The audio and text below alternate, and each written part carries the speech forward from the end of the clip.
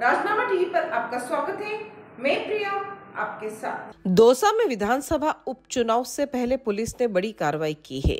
Delhi Mumbai expressway के Bhandarej exchange के पास नाकाबंदी के दौरान एक कंटेनर से शराब की पेटियाँ बरामद की गई, जिन्हें सॉस, चटनी व फ़ूड पैकेज की आड़ में दूसरे राज्य में सप्लाई किया जा रहा था। दरअसल रविवार को सदर थाना पुलिस वाहनों की सघन तलाशी ले रही थी। इसी दौरान हरियाणा नंबर के कंटेनर से शराब की पेटियाँ बरामद हुई है। शराब समेत अन्य जब्त सामान की अनुमानित कीमत करीब पिचासी लाख रुपए है।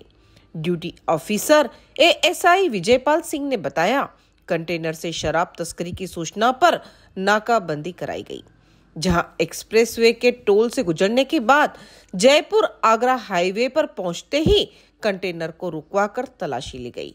तो उसमें से लिक्विड बोतल में अन्य सामान के पीछे हरियाणा और दिल्ली निर्मित अवैध शराब भरी हुई थी, जिसे पुलिस टीम ने मौके पर ही कंटेनर से बाहर निकाला।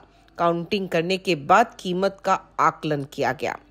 सदर थाना इंचार्ज हवा सिंह यादव ने बताया, कंटेनर में सॉस, चटनी व फ़ूड पैकेज की आड़ में दिल्ली व हरियाणा निर्मित अवैध शराब की तस्करी कर गुजरात ले जा रहे थे। इसकी बाज़ार कीमत करीब पिचासी लाख रुपए आकी गई है। साथ ही कंटेनर में सवार तीन लोगों को हिरासत में लेकर पूछताछ की जा रही है। इसी के साथ बने रहिए राजनामा टीवी के साथ। धन्यवाद।